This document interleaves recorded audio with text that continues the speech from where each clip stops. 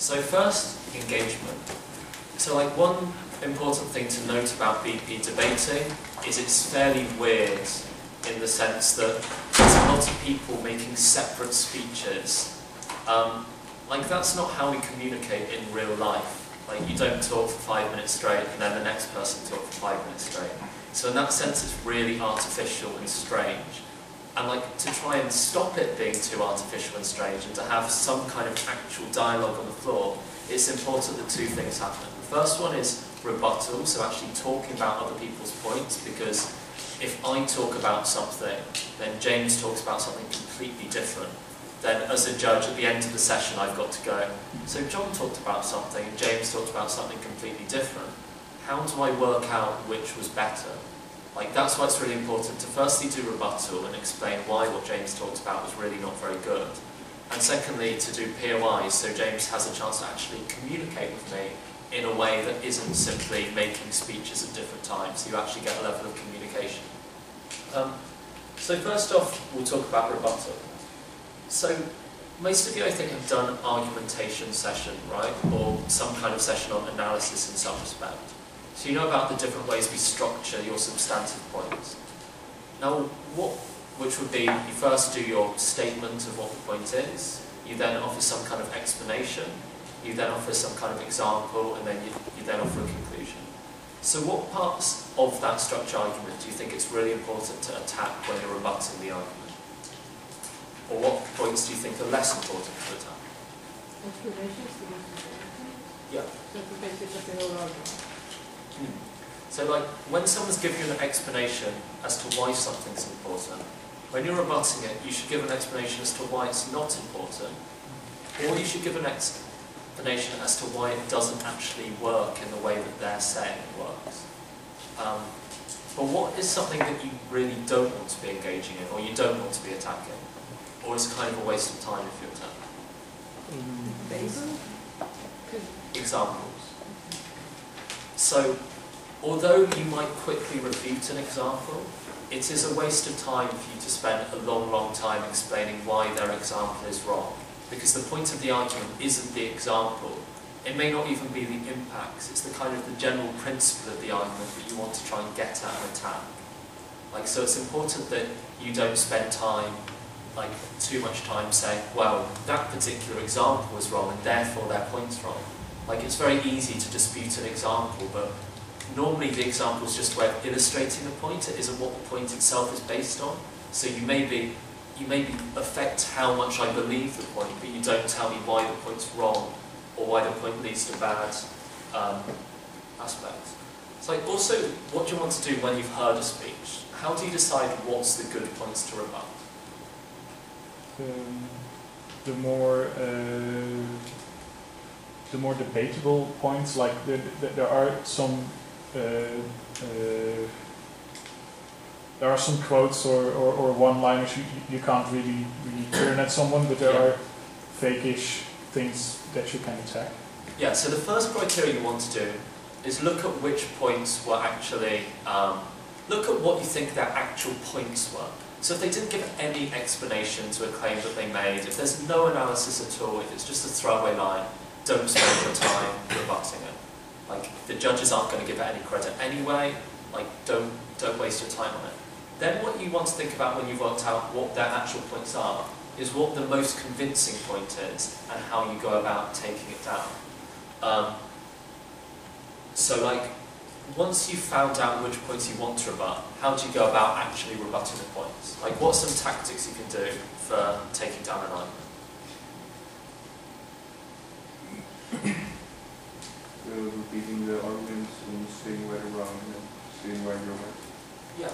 So like, one way of doing it is showing that the argument isn't true or doesn't seem to make sense. So while they're giving you analysis as to why, I mean, let, let's go through some arguments, James. Think of a debate. And then Okay. Um, you, the death penalty? Did you have the did you death penalty before? Yeah, good. Are you guys doing the death penalty today? Yeah. Yeah. No, not the death, the Okay, um, so like, when you have the death penalty debate, the prop side, presumably they're going to stand up and say, the reason the death penalty is a good idea is because it's a deterrent. Like it's going to make people call, like commit less crimes. So how do you take that argument out? Like assuming there's been some level of good analysis to it. Okay. Because I can see there are multiple ways you can attack that argument, right? The death penalty is a deterrent. Can someone tell me one way you might take it down? Yeah. You are also killing people by acting out the death penalty. Precisely. So you say that even if it is a deterrent, bad things happen as a result of it, right? So like, it may be a deterrent, but even if it is, the way it's being a deterrent is killing people, which is a bad way of being a deterrent. So that's one way of attacking the idea that the death penalty is a deterrent. You say, it may be a deterrent, but it kills people, fairly intuitively so. Um, What's another way you can attack the argument?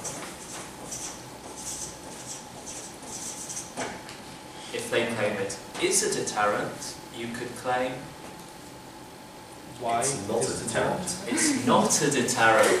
yes. So- straight off, first. So you might say it's not a deterrent, and like think about the way people think when they're committing crime. So like there's a lot of research that says the death penalty doesn't act as a very effective deterrent. And you can talk about the type of crimes people do like get the death penalty for and like if you're going to murder someone and the choice is between life in prison or dying, it doesn't necessarily mean that up the margins less crime is going to occur. So what you can do is you can say why it isn't the case or why their mechanism for how it's going to be a deterrent doesn't hold. You can also say the bad side effects that happens. So when you're doing rebuttals, one really good thing to remember is you don't you don't just have to rebut something in one way.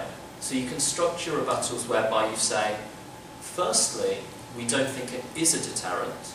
This is why it isn't a deterrent. Talk about the way people think about crime. And then you go, my second point of rebuttal to this point is the idea that even if I'm wrong, even if it is a deterrent, the side effects are really, really bad.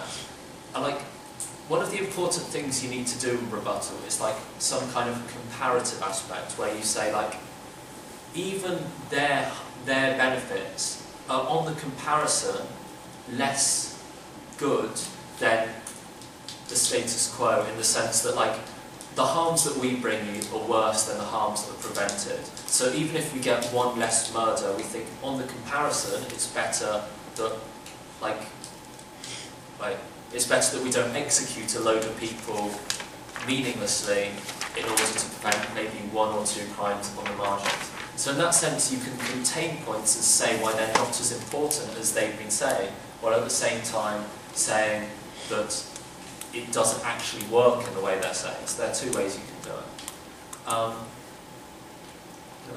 Right, yeah, there's, there's also just a broader way that you can kind of attack this point.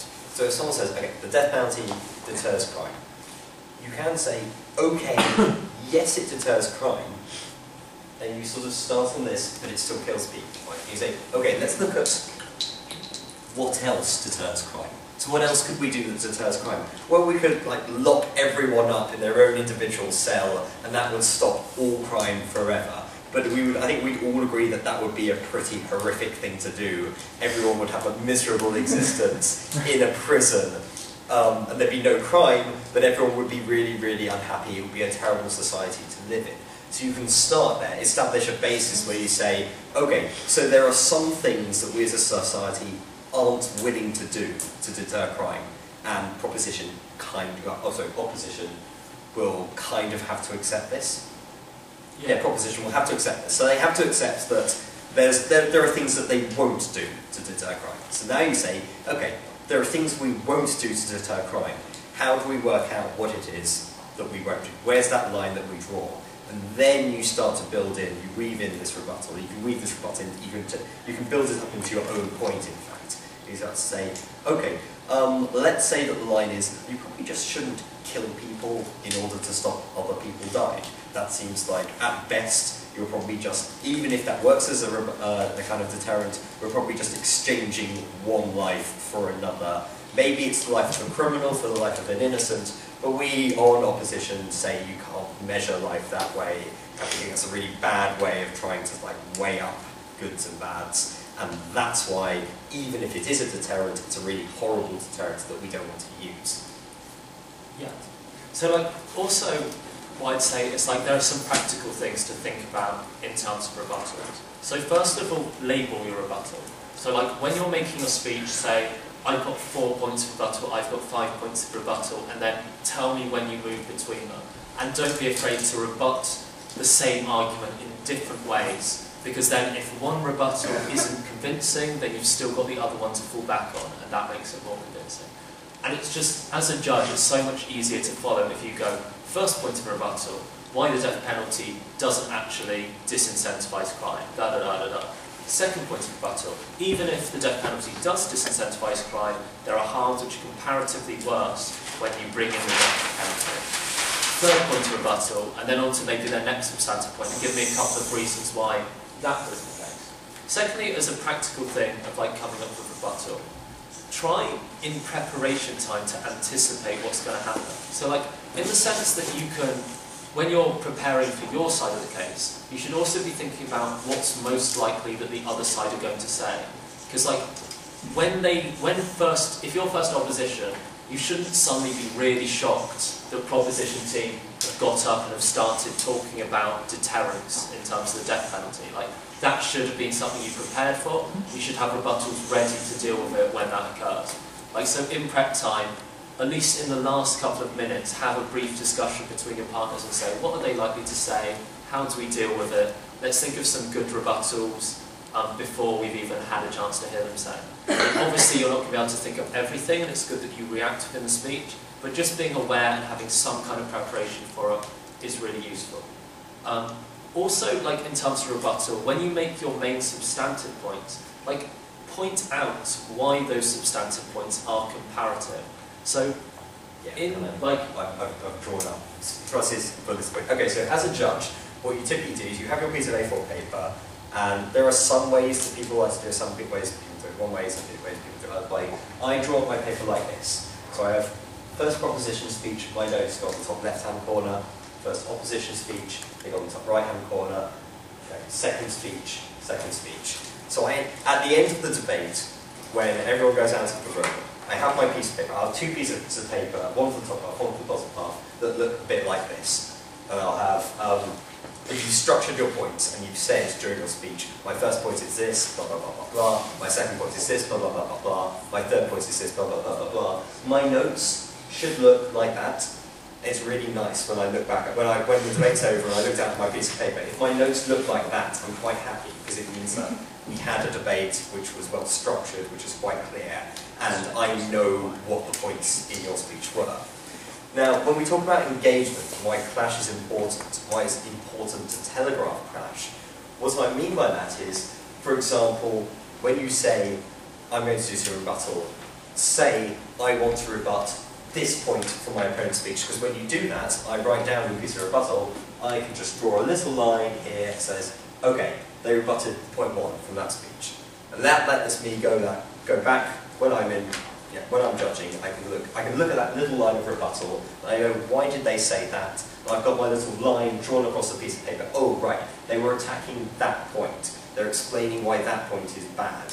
And if I think that rebuttal was successful, then I can go, okay, so that point's done, this team did quite well, that's how you get points for engagement.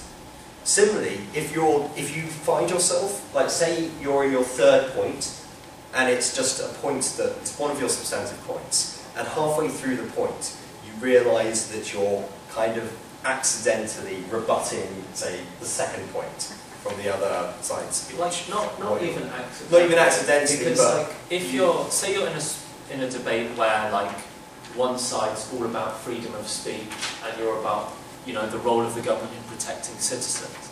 Like one of your substantive points should be why it's the government's right to protect or duty to protect citizens. Like when you talk about that, inherently you're going to be clashing with the idea of freedom of speech because you're talking about how we sometimes limit it.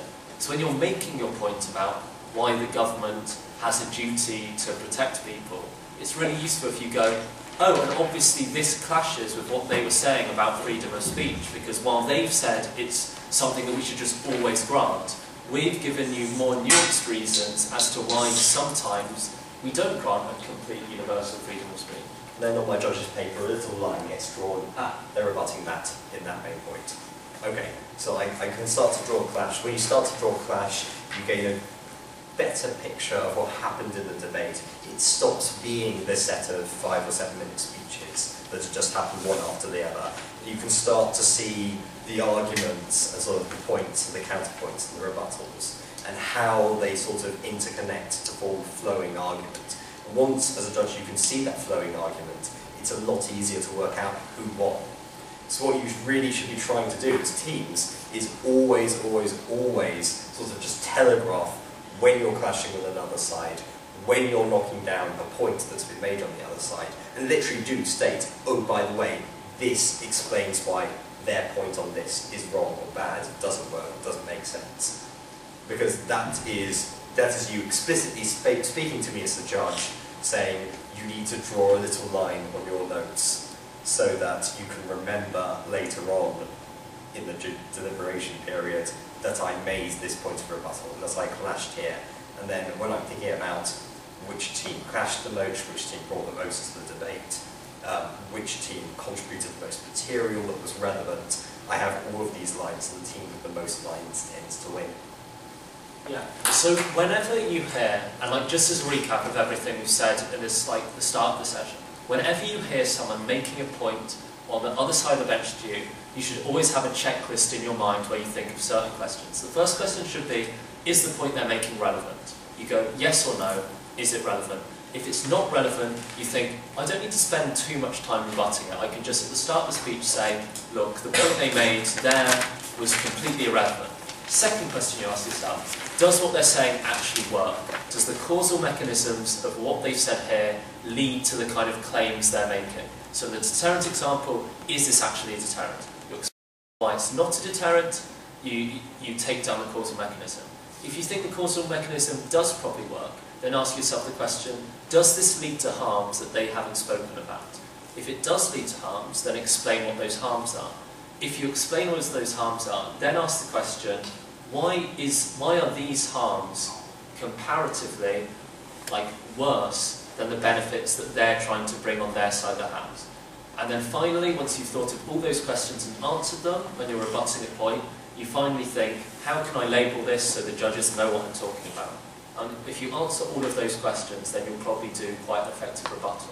And you'll also probably avoid doing rebuttals, long rebuttals to things that you shouldn't, you don't need to rebut, because you can't ask all those questions for an example, because you'll realise that that isn't the point, it's just an example. Um, And can I just put, yeah, okay, so rebuttal, this is really important, this is why we call this um, workshop engagement, not just POIs.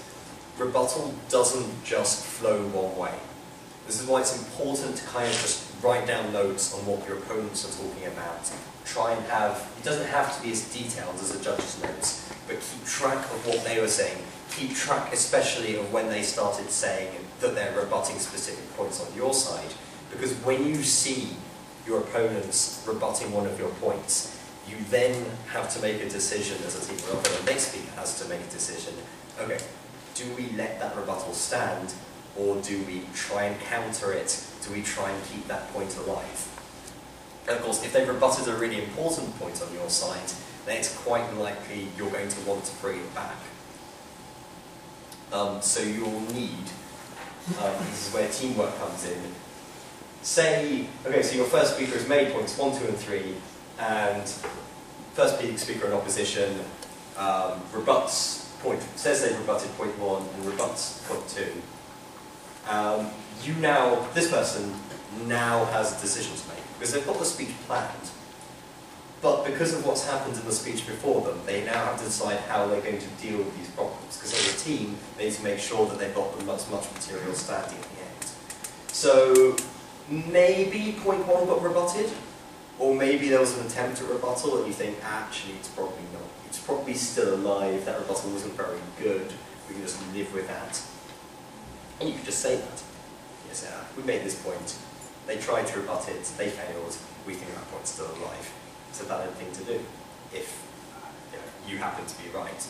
But otherwise, um, say a point has been rebutted, you need to do pretty much the same thing to the rebuttal as the rebuttal did to the original point.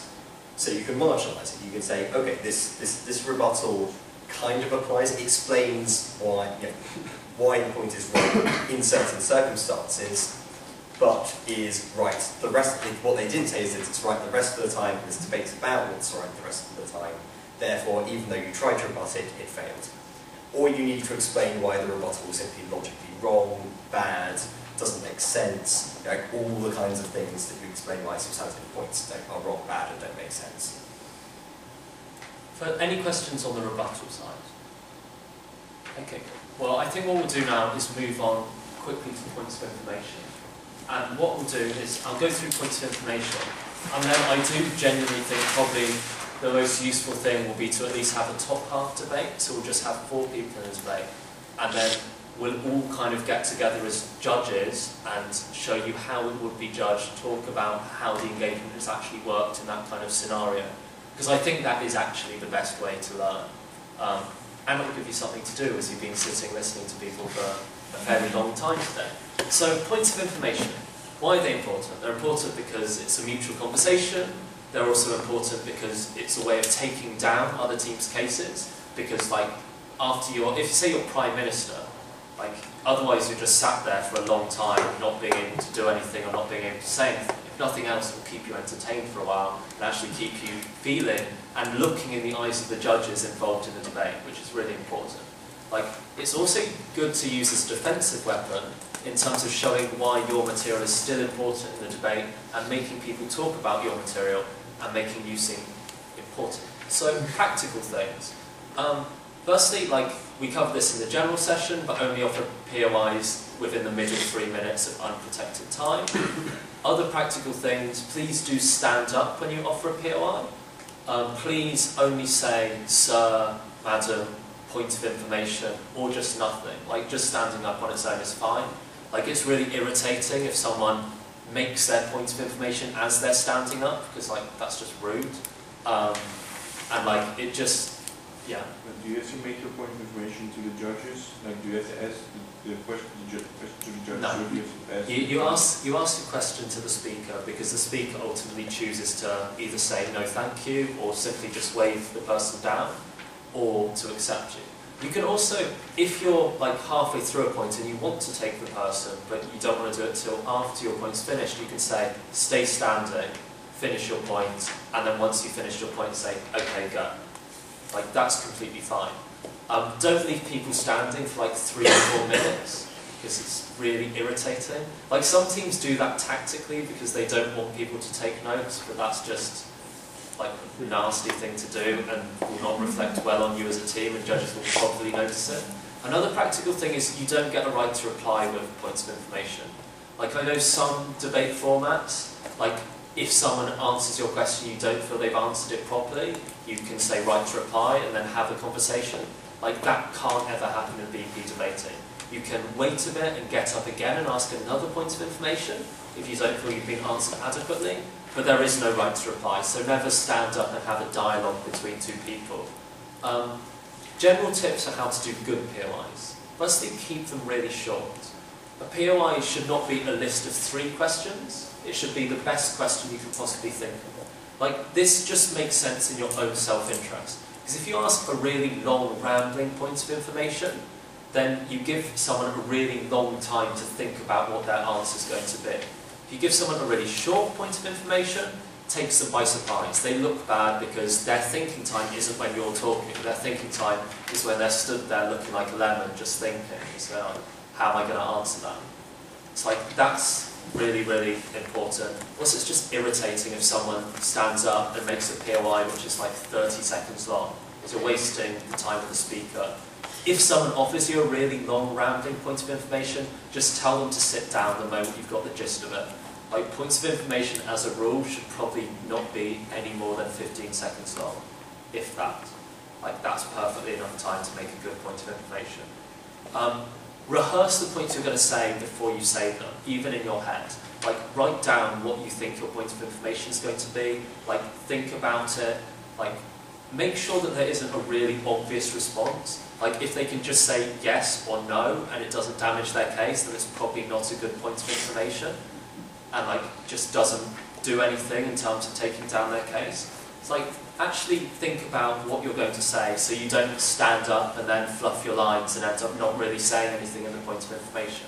Like make sure that you stand up and say the point of information you want to say and like the best way to do that is just plan it and say it a couple of times in your head and maybe have it written down. Um, also like work as a team to think of your points of information. It's perfectly good and a lot of good teams will have a bit of paper between them. They'll write down the points of information, they'll write down what they think the best point of information is, and then like as a team you can be whispering and cross out what you think a bad POI is. Like don't get into a massive fight over it, but like try and together come up with what you think is the best tactical point of information to offer at that point. Because there's no point, like if one of you has a really amazing point of information and the other one stands up and offers a really bad, irrelevant one, like firstly it creates a bit of tension and resentment, which is never good because it's a team sport. But secondly, it just doesn't help your case in the way that you otherwise could. Like, be active, stand up and offer a lot of points of information, make sure you're both offering points of information, otherwise one person will look a lot weaker or stronger. And like it's good to be a good team and work as a team. Um, when should you offer points of information? Um, offer them, like you're free to offer them any time in the protected time, but you're more likely to be accepted if you offer them between points. It's like when someone's moving between two substantive points and you offer a POI, they're far more likely to take you. Similarly, if they're moving between rebuttal or a point of information, they're probably more likely to take you because it's a natural pause. Also, a lot of thing that people do quite effectively is if anyone says something really controversial, then they'll all stand up and go, point of information, like to express, and like just as a bit of theatrics to kind of like show that something strange or contentious has been said. If you do that, and it's fine to do that, then make sure you actually have something to say. Because there's nothing more embarrassing than standing up in outrage and going, point of information, and going, yeah? And you then getting flustered because you've just stood up to make a dramatic point rather than because you have a question. Like that's another good reason to have POIs written down. It means that you can do the dramatic theatrical stuff and actually still offer a good point of information. Um, so like, what can you actually aim to achieve with point of information? Yeah. Um, uh, if uh, someone says something in the first minute and you still want to make a point of information about it, can you ask it after? Yeah. Um, so like you don't have to ask the point of information specifically about what they're talking about at that specific moment.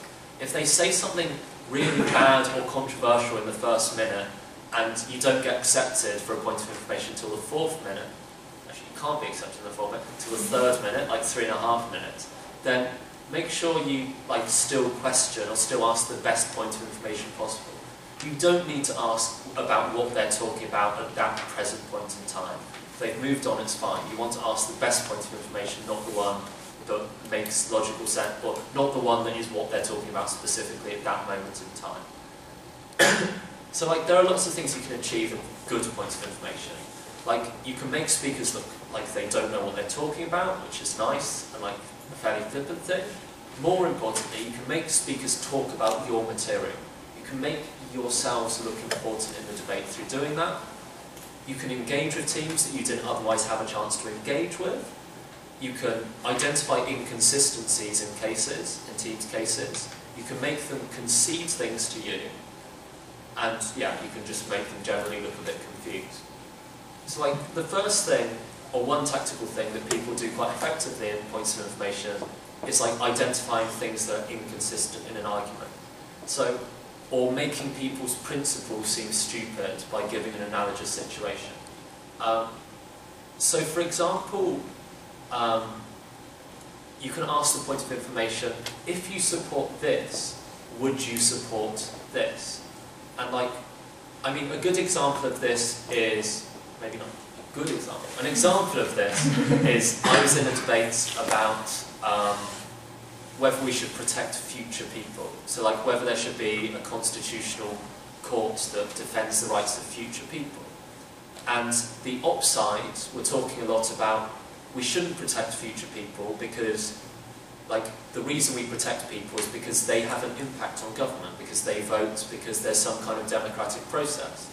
It's like one of the POIs the prop team offer is if if you think that the reason we protect people's rights is because they have a vote, do you think the government has any responsibility to protect children? And like you see how that works. Like you're standing by that principle and you're saying, if we accept the principle you're advocating, then do you accept these bad circumstances that happen as a result of that? So then they've got two choices ahead of them, both of which are really not very good for them. They can either say, no, I don't think we have any right to protect children, which makes them seem crazy and probably not very nice people, or they can say, you're right, there are some circumstances where our principle doesn't hold. And like this takes down a lot of the effectiveness of that argument. Because if they've been saying, we stand by this principle, and then they have to say, oh, but in certain circumstances we don't, then it obviously takes away the power of that argument. So there's lots of ways you can phrase those kind of POIs. You can say, would you support this? And then give a situation that's analogous. You can also ask, why do you think we do this? So you could say, why do you think we protect children even though they don't vote? And that's quite good tactically because then you force them to basically make an argument for your side of the house. Because when they're explaining why they don't, they're also explaining why there are circumstances where their principle doesn't hold. Um, another kind of good Oh, also when you make those kind of speeches, um, POIs, it's a really good idea to follow them up in a future speech. So when you say, would you support this, and it's an analogous situation, if you've got a speech after that POI, you can say, why did I offer that point of information? I offered it because this is consistent and this is the same as what they're doing. And like, look at the results. So like, following up the points of information is a really, really good thing to do in speeches. Um, Another thing you can do is kind of a leading question or a question that kind of identifies a lack of knowledge about a certain topic or a question which makes them be more specific than they were being and makes their case harder to defend. So in any speech about um, about like things that are consensual, a good point of information to offer early on is how do you actually go about establishing consent? and then they have to give you some kind of reason, some kind of mechanism, and you can attack that, so you're giving yourself more material to actually attack. Or like a question that kind of reveals that they're not fully aware, aware of like the information that is important in this debate. Um, so for example, in a debate about um, in a debate about whether um, we should give Georgia membership of NATO um, because of South Ossetia and what's the other one? As I don't know. Um, um, Yeah, so because of the South Ossetia problem and the fact that Russia invaded, you can offer a point of information saying, are you aware of who negotiated the last peace settlement between Russia and Georgia? To which the answer is France. And if they reveal they don't know that, then you can then, in your speech, come up and say, why is it really important that France were the negotiating party and the fact that France are a member of NATO? It's important because when Georgia become a member of NATO, then it's no longer you no longer have a party which aren't biased that are able to be part of that kind of negotiation because they suddenly have to be in line with Georgia. So like Identifying gaps in people's knowledge, which you then can use, is also another kind of thing that you can do with points of information. Yeah. How commonly is the technique used to you know, refer to points of information that you have asked? Like, do you do that often? Like, the, I offered that POI because of reason. Yeah, I mean, you don't always do it. It's like you judge when it's actually going to be useful in your case to do it. It often happens in rebuttal. So when you're talking about general things they've said, you can say like, and let's look at the information that I offered, and let's look at how badly it was responded to and why it was responded to that badly and why it's very important. Also, if one of your points of information goes alongside one of your substantive points, then you can also refer to it when you're doing your analysis of that substantive point. You'll know when you're giving the POI. So basically there, are- there are two kinds. There is either the kind of POI where the person responding has to give an answer which obviously damages their case. Um, like the example we had earlier. Um, like no answer they can give. For example, yeah, on, on children, yeah, do we have responsibilities of children? There's no answer um, you can give that looks bad. It's obvious it damages the case immediately. Yeah. The other kind of POI is the one where you're setting up a trap. So if you ask, do you know who negotiated the peace between Russia and uh, Georgia, um, that during war? Like, if they say no, You Um, need to explain yeah, why the, the, the, the judge the judge can't just be sitting there going, well, they don't know, I don't know either. Why do I care? So if Um, you're so you have to come back to that and then explain in your speech. That's why you would come back to it and say, look, earlier I asked them if they knew this. They didn't know this. Here's why it's actually important. When you explain why it's important, then you draw back to what they, they said and the judge realises, oh, okay, not only did they not know the answer to that question, actually the answer to that question is very important. Yeah. So they don't know. Um, because they didn't know, their case is actually quite flawed. They look bad, you look good. Like that only works if there is a crucial, a crucial point that needs to be known in order to make like an important point in the debate. You can't just ask a crazy, difficult to know question and say like, are you aware of what Vladimir Putin's grandson's called?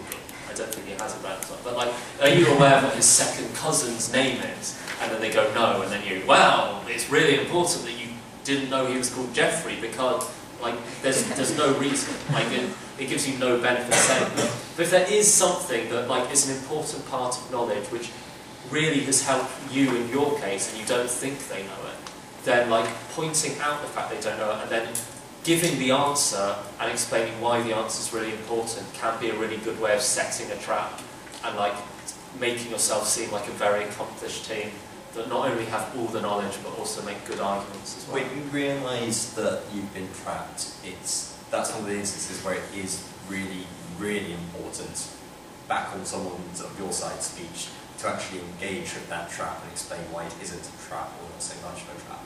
In this instance, when they say, ah ha ha, but France is no longer going to be a neutral mediator, you can say, okay, yes, it's no longer going to be a neutral negotiator, and that doesn't matter because Georgia's now in NATO and doesn't need a neutral arbitrator because it's got NATO, and that's much better. Um, so it is um, like that. That trap can be negated, and you can turn the nation to a point that says, "Aha, you- yeah, this trap was a stupid trap." Yeah. But if you It's don't do that, then the impression the judge is left with is, "You got trapped. They win." Yeah. Final like type of POI that I'd suggest people do is POIs that just shamelessly flag your own material and why your own material is important. Like this is something that's very much a first half tactic. So if you're in opening government and like you kind of feel like the other teams really stopped talking about your material, they've started ignoring it, but you still feel it was fairly important and you want the judges to remember that you were in the debate. One of the things you can do is offer the POI that's like, will you be the first person to engage with what my partner brought you about this? Will you be the first person to tell me why whatever we've said isn't important or why this isn't the case? and like, or more subtly, just POIs which clearly relate to stuff that you've spoken about. Just like making people talk about your material makes you seem important in the debate, especially if they fail to respond to it effectively. Because then the judges will be like, oh, so their stuff remains standing, even though they spoke about it, they weren't able to take it down, which is the ideal situation. Um, any questions on giving POIs? Cool. So finally, on us talking at you, um, taking points of information and general things about how to actually respond to them effectively. Um, firstly, who do you think you should actually take for a point of information? You've got two teams standing up, you're speaking. You're in, I don't know, you're in second proposition. Who do you accept for a point of information? First, proposi first proposition? Anyone else think? The correct answer is there is no answer. It's a trick question because there is no hard and fast rule about who you should take for a point of information. Some people think you should take the strongest team, some people think you should take the weakest team to make yourselves look good. Like, there isn't a correct answer. There are different circumstances where you should do different things. Like, I do agree, and it is an important point, that somebody in the second half, if in the second half, it's a good idea for somebody to take a point of information from the first half because they don't, haven't had a chance to rebut you, and it makes you seem like a stronger team. However, if the first half were really, really crazy and completely out of the debate, and you're trying to beat the team in front of you, it makes perfect sense to take points of information from the team in front of you to have more engagement with that team. Like, I definitely wouldn't advise you to just take people you think are going to offer bad points of information. Like, it's better if, because like the judges will probably be going, oh, he just wimped out of it, he or she just didn't want a hard point of information. Like, if someone looks really strong around, don't be afraid to take that point of information and answer it well. Like, that's, that's a better way of going about things. Obviously, if you feel like your case is really not very good and you don't want to be, and it seems like they've got a really good point of information, there will be some circumstances where tactically you want to avoid having your case drawn apart. So there is no real hard and fast rule about who you should definitely accept in terms of first half or second half, or who you should definitely accept in terms of um, like weak or strong teams. Also, when you're accepting points of information, don't let people answer, ask two points of information. Like, if they've asked one, just sit them down and answer that question. When they start going, and another thing, go, no, and just answer the first one. Or if they ask you two things, like you have no reason to answer both of them, just answer the easy one, or the one that makes you look the best. Like, if they've made the mistake of offering two points of information when they're only allowed to, like, as one speak, as one question, then they don't get the right for you to answer both. Like, that's not how POIs work. They can sit down and stand up and ask another one if they want another point of information. Um, accept points of information not at your weakest point. So if you're struggling, a point of information isn't going to help you.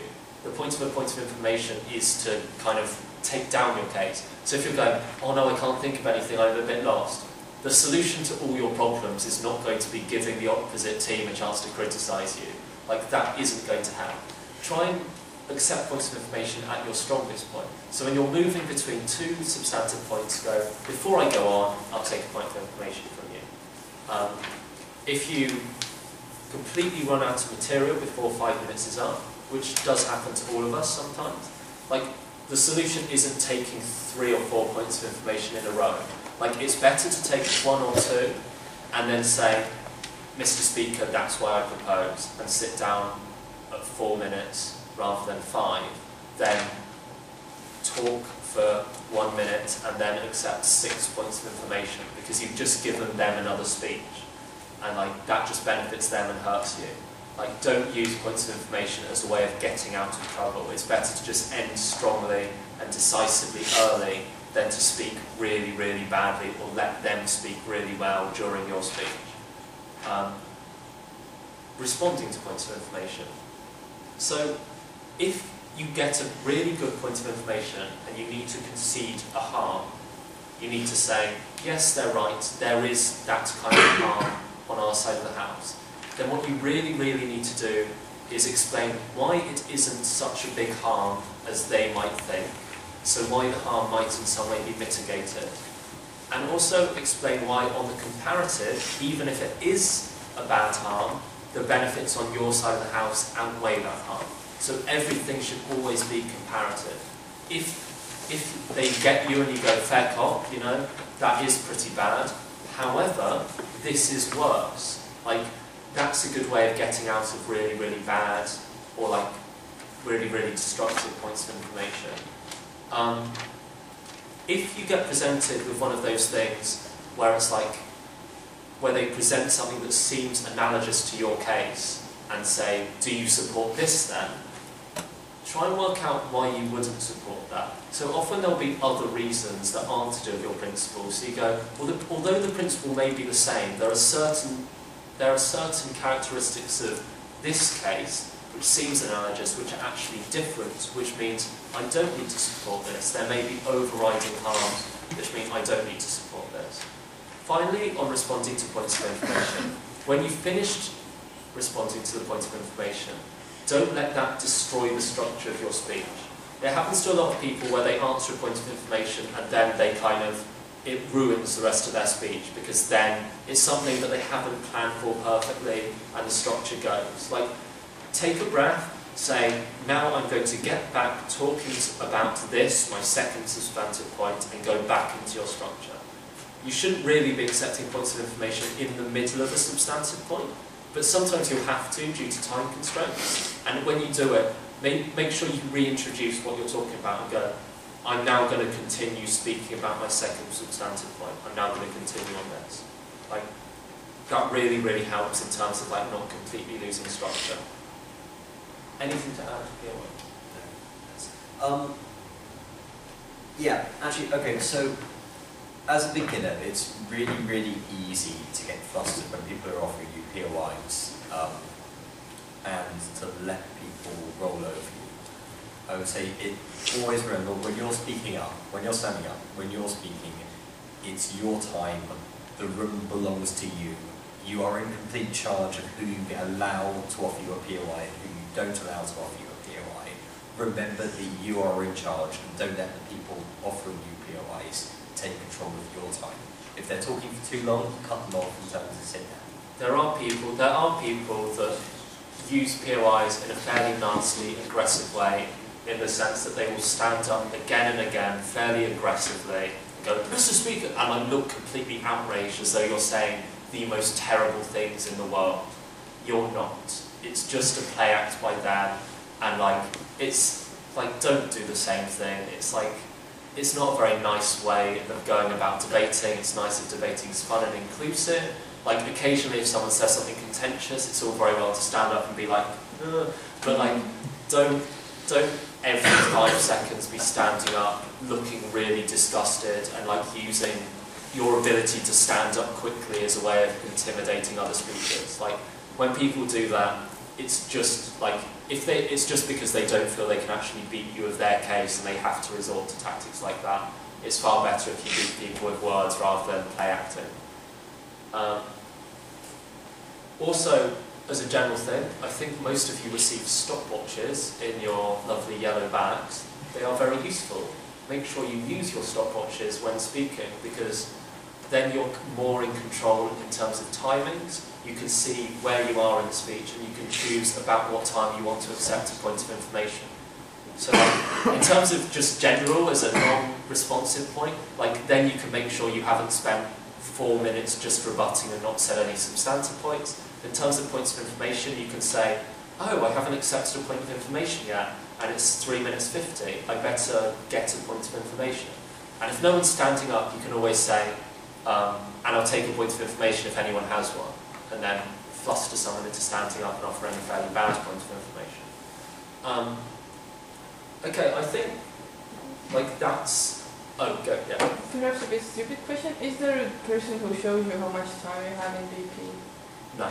Oh, okay. So, um, I know in some debates people have like there are Yeah. you, there are a few so judges you'll, that you'll get a bang after one minute and a bang after four minutes. So um, you, like, if you don't have a timepiece, then you basically measure yourself by that. You know, by the first bang, you should sort of have started your first point. Um, and substantive. Well, You then kind of, it's, it varies um, from speech to speech. Obviously, like it, sometimes you just have to spend more time in rebuttal. Um, I spent like the first two and a half minutes in rebuttal, um, like sometimes longer if necessary. Um, but as a general rule, like when that first bang hits, you should kind of start talking about your first point. By the fourth bang, uh, sorry, the fourth bang, the, the four minute bang, you should kind of be most of the way through your third point and then wrapping things up. Um, in a standard like three point structure speech, that's how you kind of go. But yeah, just sort of, I, I, I don't ever use the stopwatch to be honest. I kind of go by innate timekeeping, which is yeah, I just I'm just I, I'm vaguely aware of the 60 seconds. Like, I have 60 seconds at the start to like get momentum up. I have 60 seconds at the end to wrap things up and like stand and end on the dot. And then I've got three minutes in the middle um, to talk about some substantive stuff. Um, However, I would advise, given you all have stopwatches, that it would probably make more sense for you guys to at least have it, like, if you feel you have an innate magical awareness, that's really cool, that's great. Um, however, it's better to accept a point of information and have, like, even if you're not looking at it, to have a timer going so that if you go, oh, I'm not sure where I am, you can look at it and you've got that option there, and then you can say, you know, make sure you do accept a point of information, make sure you do not run out of time. Like, it is a useful thing to do, um, and it is something I would advise you try and do. I mean, it's true that some people are more comfortable not having any kind of timepiece, but I've always found it a lot easier to have some kind of awareness. Um, any more questions? Okay, well I think we've probably just about have time to run a top after. So that means we need four volunteers that are willing to be a bit guinea pigs. Um, and like, we're not going to be very critical, but it's going to be a learning experience for everyone, and we'll give you really good feedback, so actually give you an advantage tomorrow because you'll have had a great improvement experience, um, and we'll give you some feedback, and we'll look specifically at rebuttal, and everyone else will get an insight into what it is to be a judge, and we'll talk about what we think went well, what we think, well not went badly, but what we think could do with constructive criticism. Um, so are there four people that would mind debating? Got one, two. Is that a half hand up? No? No, no, no. Come on. Three. Three. And one more. This will be a nice and beneficial experience, I promise. Four. Perfect. Um, you two seem like you're really good friends. No, Yeah. Well, I'm splitting, I'm splitting you up then. Um, so, you two, you two go together and you two go together because I think it's better to be, you know, make friends with new people as well. That's a great bonding experience. Um, so what we'll do is we'll give you about 15 minutes of preparation time. Um, I suggest you kind of go outside and prep a case. Um, using all of the things you've done today. While you're around, we'll just chat with the people in here and answer questions and how. Yeah. Okay, you and I, I can't remember the word. So we have 15 minutes of preparation. Do you, have you worked out which ones are pop and which ones aren't? Oh, right. Prop, oh, Okay, the motion, we're, motion we're going to do is this house would legalise performance enhancing drugs in sport. Okay. Are you okay with that? You understand what? No, I'm not okay with it, that's the whole point. Okay, so if you guys go outside, we'll call you back in, Uh, uh, in about 15 minutes. Tijd van Paul. Nee. Okay. Zo, Mogen wij even dat papier van mainstream. Yeah, that's 10. And it'll be about 10, 10 minutes actually, 10 minutes of running short on time, sorry. We're not gonna have to-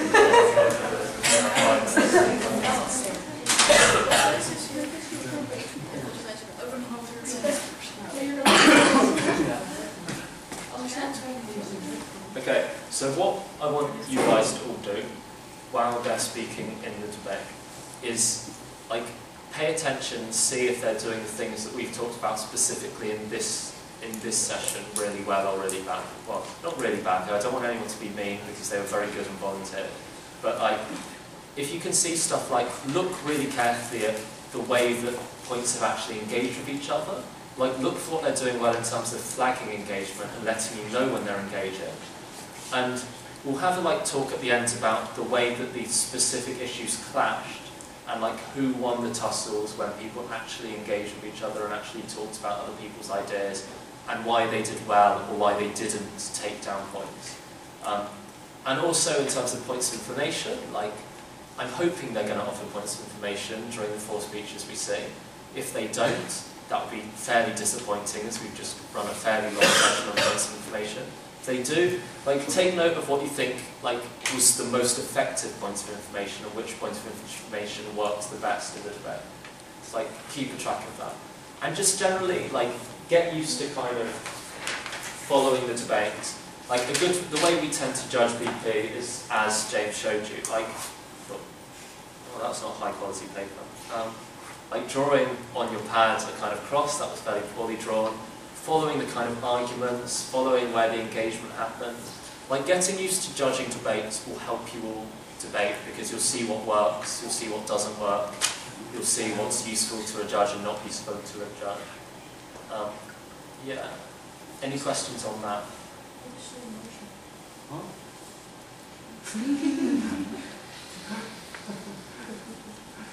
And also, as an anti um, I mean, I don't anticipate you'll do this. I think it's more likely you'll probably just end up chatting amongst yourselves. But while we're waiting for them, why don't you think of what you'd run on this debate? What do you think are the good reasons for it, or the good reasons against it? Um, for legalising performance enhancing drugs.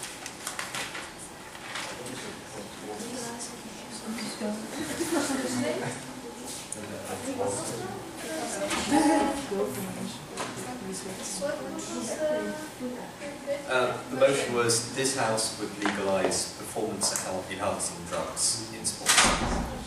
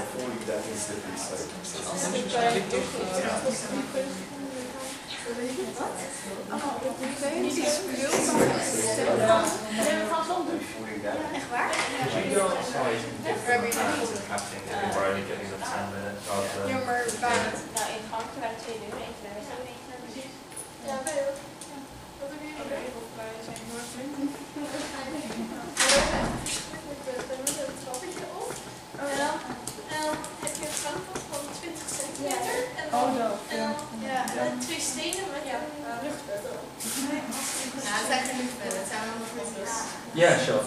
Because I really didn't follow the structure of the argument like much more. because I I didn't follow the how. Excuse me, but, um, So I think another way, I need to be careful because I'm on camera there. Um, I, like, an, another way of thinking about it is like, rationale also can be explanation.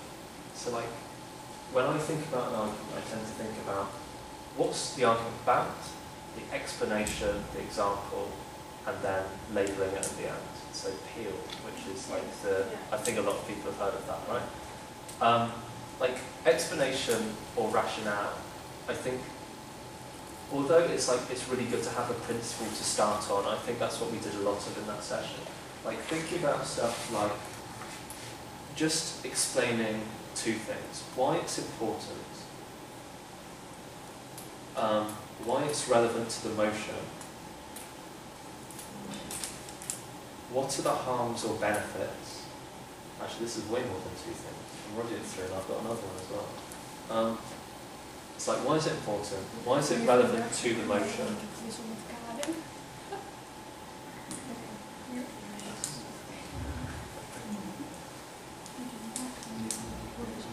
What are the harms or benefits? It's like thinking about the different people, the different groups that might harm, the impacts of it, and then how does it achieve these harms or benefits?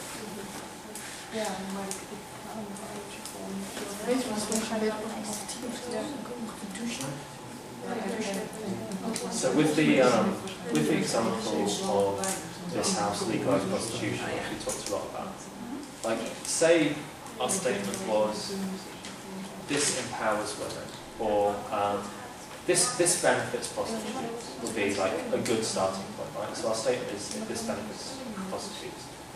Why is this important? We think it's important because you know prostitutes people too. They have the same rights as us. They they have a right to like not get ill just because of their job, not to be harmed just because of their job. Um, what's the harms if we don't do this? If we do do this, we say the harms, to the benefits, to, or the benefits. The benefits of prostitutes are they have access to good health care, means of exchanges, it's regulated, they're not beat up by pimps. These are all benefits of doing this. These are ways in which it actually benefits women. But then we're only, Yeah. like you said, one percent of prostitutes, so. Yeah. So then What's that? Yeah, but you say that it's going to be comparatively more. Actually, another thing to add in the appeal thing in the explanation is comparative. So as well as why is it better, why is it thing? Like comparatively, why is it better on your side than ours? So just I just put like a thing there and then say comparative because all of these things can be comparative. Um, so the crucial thing is how does it actually achieve these things? And that's where the real explanation and analysis actually comes in. I think that's what we spent a lot of time talking about today. Um, so saying like the way that we get the benefits that we say, the way that like women are saying we have very specific causal mechanisms. We have like we're going to persuade people to use these prostitutes, and when we persuade people to use these prostitutes, not like everyone, say, yeah, it does sound weird. We're going to persuade them if they're going to use prostitutes, we're going to encourage them to use these ones. Um, and like the way we're going to go about this is by making it seem generally more attractive as a situation. It's going to, it's like explaining the actual cause. Yeah, like the key thing is the causal analysis, which lots of people miss out, and that's how it actually benefits. Yeah. So that's the competition. So I think you're going to be. It's really a competition. There's going to be winners and. Um, oh really? Okay. So okay. So what I think is going to happen tomorrow is you're going to be put into pairings. I think randomly. Um, so you're going to make a new friend, which is going to be fun. Um, and then we'll put you into random pairings. Then we're going to do four rounds where you're going to basically apply what we've learned today. There'll be four different debates. And then I think the top four teams will go through and have a big final public debate in front of everyone. Everyone does four of the debates. So rounds one to four, everyone does. Will the public debate be in BP or I don't think so. will it be, oh, So there are two different things. There's the public debate and there's the final. The final is BP, the public debate is, I think, different. I don't know. Where can you see your partner? I don't know. You don't choose a partner. Where do you find it? Yeah, Oh, I think you'll find that out later oh, tonight. I'm not entirely sure about that. We were just told you'd be put in randomly. Fuck uh, chairs. Uh, Grab the chairs and put them in a line here. Very, very educated.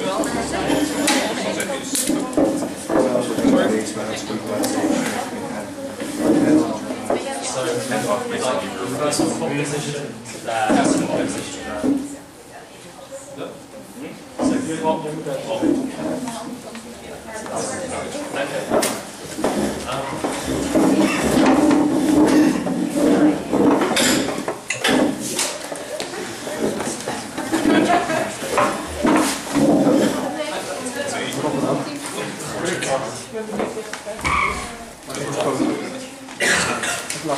Okay, so, so we're going to have this debate. Precursor to this is, guys. So we're going to have this debate. Obviously, this is a top half debate. This doesn't really reflect a lot of the complexities and nuances that you get at the bottom half, but I think we can still see a bit about engagement. And please offer points of information because we've been talking about them a lot. That would be nice. Um, Okay, so the motion before the House was this House would is legalise performance enhancing drugs in sports. Um, I'd like to welcome the Prime Minister to take the case for the opposition. Um, we're going to discuss uh, the, legal, the legalization of performance enhancing drugs in sports. Um, of course, um, Um, we're going to talk about two points about uh, how fair play will be enhanced and about the economic benefit, benefits of this motion. So, firstly, I would like to talk about fair play. Uh, if everybody uses it, if everybody uses performance enhancing drugs, everybody's performance will be at the same level again, and sports are going to be more fair. Um, also, right now, a lot of people uh, don't watch sports anymore because uh, they lost faith in it. If performance enhancing drugs, the first thing. Oh yeah, it's still protected time. Um, um, continue. Um, if um, a lot of people don't watch uh, sports anymore because uh, they lost faith in uh, the, the sportsmanship of a lot of uh, athletes. So if we make performance enhancing drugs uh, legalized, um,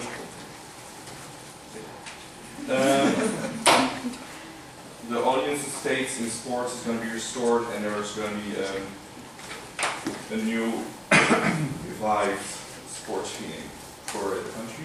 Uh, secondly, we're going to talk about the economic benefits.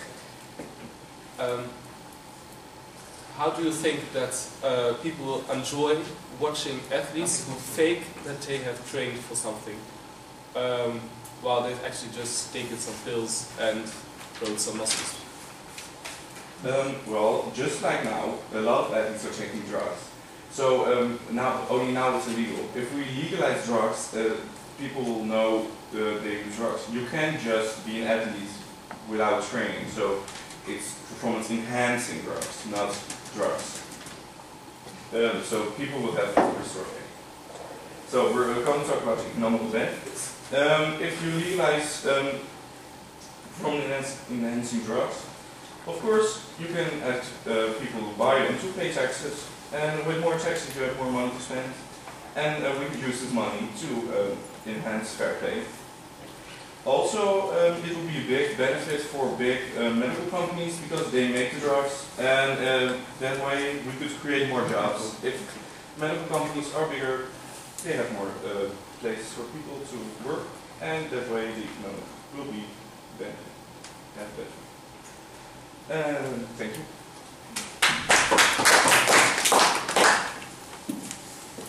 I'd like to thank the Speaker for his remarks and welcome the Leader of the Opposition to begin the case against the motion. Yes. Um, I'm going to talk about three points. Um, the point that uh, when we use uh, drugs, you actually discourage the training to achieve a certain level of uh, in, in sports. Um, it actually becomes unfair and not fair. Um, and it would be uh, more about drugs than about experience. Um, you discourage training of uh, athletes. Uh, when uh, athletes uh, want to become good at sports, they train a lot. And uh, when you uh, give them drugs, they will uh, train less and focus more on drugs. It will be more uh, a competition about uh, the drugs, who, who can get the best drugs, in, uh, instead of who can who trains the most, who uh, spends the most time on uh, new training methods and um, accomplishing new uh, achievements in the field of sports. It becomes unfair because uh, how many drugs are you, are you allowed to take? Um, one pill, two pill, two pills. Um, so once of information. Uh, right now, uh, from um, athletes can train as much as they want. Uh, they do as they want. But um, when um, I was talking about the uh, I was talking about that um, I was talking about uh, taking drugs would be uh, unfair for the sports uh, community. Um, if, if someone can choose to take 10 pills uh, on a day and someone else takes one, uh, the one with the 10 pills is uh, in a great advantage. But he does not do, uh, he doesn't do any uh, extra work for it. Uh, and in actual sports now, someone who trains 10 times as much invests 10 times uh, more time, but he accomplishes more Sir? during the game. Yes. Why won't the uh, sportsman who takes only one pill, why wouldn't he take nine more pills? Uh, because it's dangerous for health. Um, but that will my uh, other person talk about. uh, and final, uh, when you take drugs, it will be more about uh, the drug instead of the experience. Uh, as you're an athlete, uh, athletes themselves uh, will feel better about uh, winning a game or becoming Olympic champion when they've trained several years for it instead of uh, taking a couple of pills. Point of information. Um, athletes right now use drugs too to win, and they still feel good when they win. So why would it change when? Uh, Well, how do you know? why would it- Um, right now, um, not many athletes take drugs because uh, there are uh, a lot of investigations, uh, and just like with the uh, uh, Neil Armstrong uh, incident, um, if you use drugs right now, you get kicked out. And um,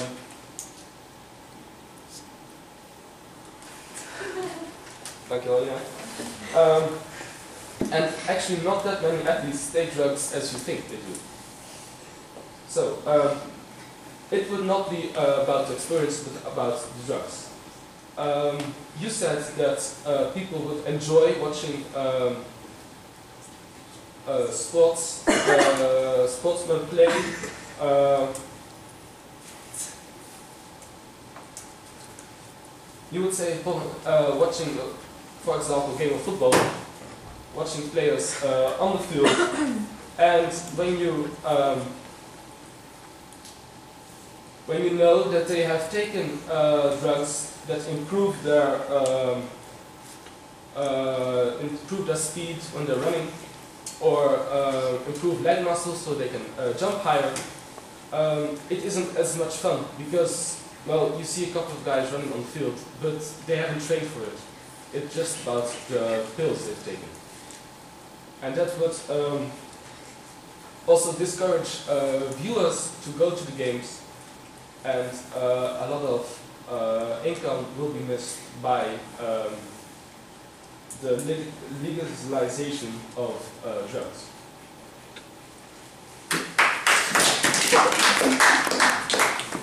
I'd like to thank the Speaker his remarks and welcome the Deputy Prime Minister to continue the case for proposition. Um, hello, my name is Dode and I'm the second uh, speaker for proposition. Um, I'll be talking in uh, three points. Uh, firstly, I'll tackle the fair play point, then I'll talk a bit about economics, and then I'll bring in our own third argument, which would be protecting poor sportsmen, basically. So, uh, on to the first argument, which was fair play. First, I'm going to do some rebutting, then I'll do some extensions. Now, to the rebutting, they said that um, it will be more about drugs and less about experience. Well, what we see is that um, what's the mechanism that will happen if we legalize drugs? There'll be sportsmen who will be, all of them will be taking drugs, and since all of them very, very want to win, they fund the sponsors, they get the money, they take more drugs so that they can perform better. But there comes a limit. We agree that uh, drugs are bad for your health if you take too lots of them, obviously, but uh, starting from one point, you also have to train in order to be better than the other person who takes drugs. And we think that this is the crucial point. Because it will also mean that the sportsmen won't just be random people from the street who will be fed drugs, but they will also actually have to train and sports will still be about sports. Moving on to the mechanism. Um, we think that uh, if all of the sportsmen take drugs, it will be back to fair play because all of them will take uh, drugs the equal amounts. For example, 90% of uh, cyclists actually use uh, steroids, and right now we cannot see any crucial uh, crisis in the field of cycling. Instead, we still see the um, uh, performance and we still see the competition and we still see sports. And we think that that's the most important thing. We want to see better sports. Thank you. Yes, please. Um, you say that when every uh, athlete um, takes drugs, it uh, an all same amount, it will still be about sports, But what? Uh, but it is bad for your health. So if athletes don't want to choose uh, to take drugs, they will be in a disadvantage to other athletes who take the unhealthy drug to become better in drug in sports. No, um, what I said was that if you take too many drugs, it's bad for your health. We think that if you take a, a rational amount of drugs, it's not that it's not bad for you, and we think that that's where the training part comes in. So, don't think that uh, this um, a certain amount of drugs is bad for your health. Now, um, moving on to the second point on the fair play, which was uh, restoring the faith of the audience. The opposition said that people will not enjoy it as much if people jump higher. We think that's exactly what people will enjoy. They don't want to see them just, you know, running around doing these small jumps. You want to see them jump higher and higher and higher. And that is what will, what will bring crowds back to sports, because they will enjoy the performances more and more. We think that if we allow people to use drugs, they will actually perform better. And that is what we want to see in sports. Now, moving on to the economic point, which we didn't really tackle, I'm still going to talk about it because we believe that it still stands. Firstly, we can gain tax taxes uh, from the uh, drugs that are being sold, and we think that's very beneficial. For example, you can use the same uh, money for um, building better sports complexes and so on and so forth. And secondly, we think that we can still, um, uh, for example, tax the big companies that will uh, produce the drugs and the companies itself will be very, very happy because they will have a small, uh, bigger field on which to uh, work on, um, and they'll uh, be able to develop a certain field more. Now, uh, to our own uh, constructive argument, uh, i- i- which was protecting sportsmen. Right now, what we see is that there are lots of sportsmen who are actually really good, but for some reason they decide to take uh, one pill, and for that their career, their entire career is ruined. We do not want to see that. We want to see sports people who are actually happy and who are able to develop their career. We don't want uh, uh, to see how they uh, are ruined for some uh, bad choice. And even furthermore, if that choice is not actually bad for their health, and furthermore, if it actually uh, enables them, them to uh, perform better. So, what have I told you about today? Firstly, I told you about how drugs are actually not that bad for your health and how they uh, make, allow you to perform better. I told you about how training is still important in sports and how that is what we want to see. I told you about people who actually want to see uh, that sports people so-called jump higher. I told you about we can get some economic benefits and I told you that we do not want to see sad sports people in the fields of sports today. Thank you. I'd like to thank the speakers on her remarks and welcome the leader of the opposition to make a case against it.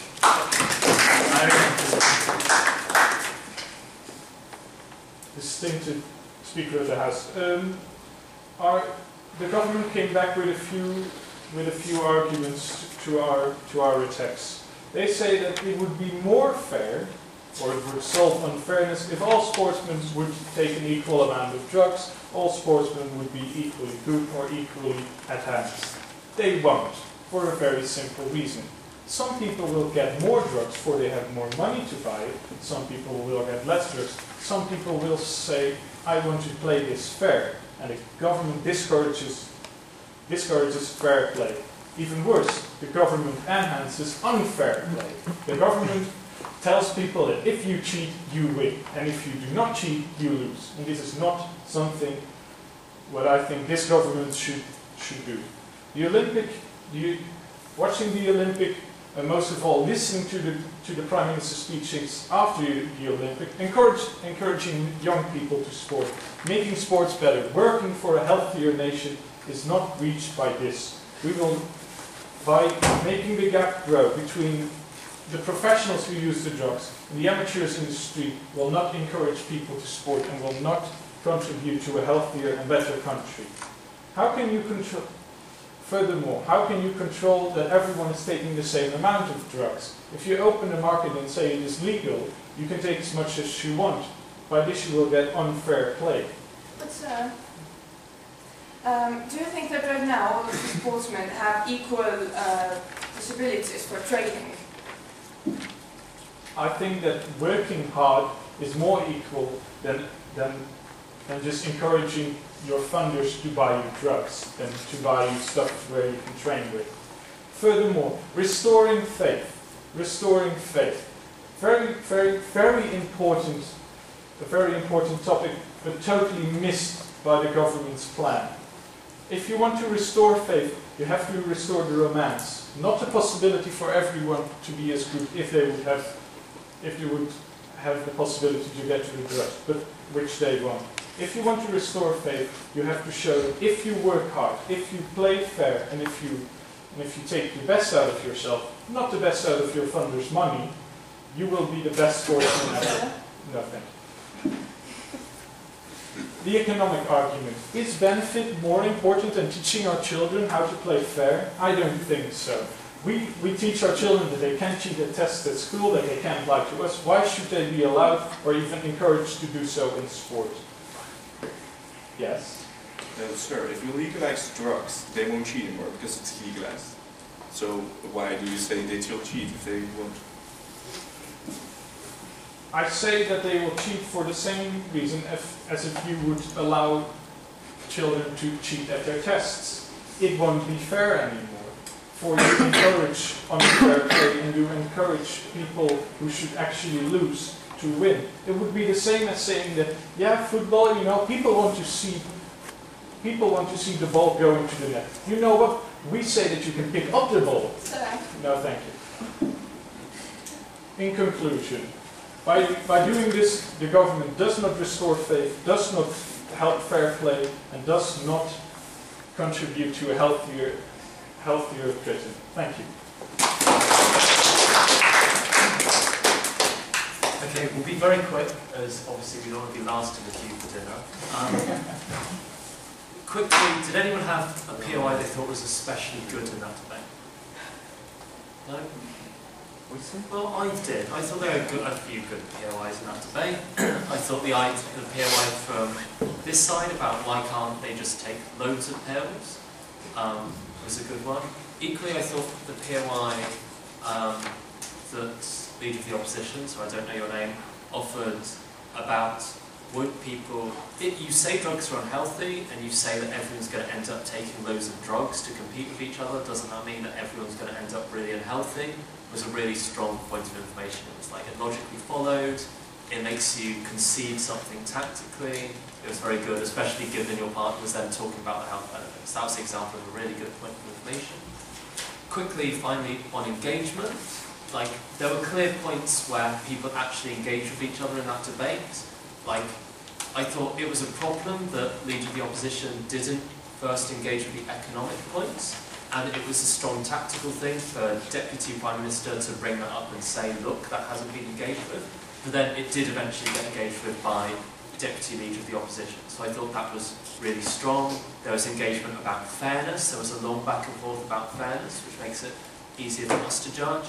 There was a long back and forth about economics, and there was a bit. There was a long back and forth about audience perception of how successful or unsuccessful the sport was, or faith being restored or denied in sport. Like that was a really good example. I hope you will take away the idea of like where things directly engage. Um, I won't give like long personal feedback to the speakers in front of everyone because I don't think that's fair because you know you volunteered. What I will say is I have feedback. I would encourage you to come and talk to me and I'll tell you what things you did really well, what things could be improved for tomorrow. Um, otherwise, Thank you all for what I hope was a useful session, and good luck for the competition.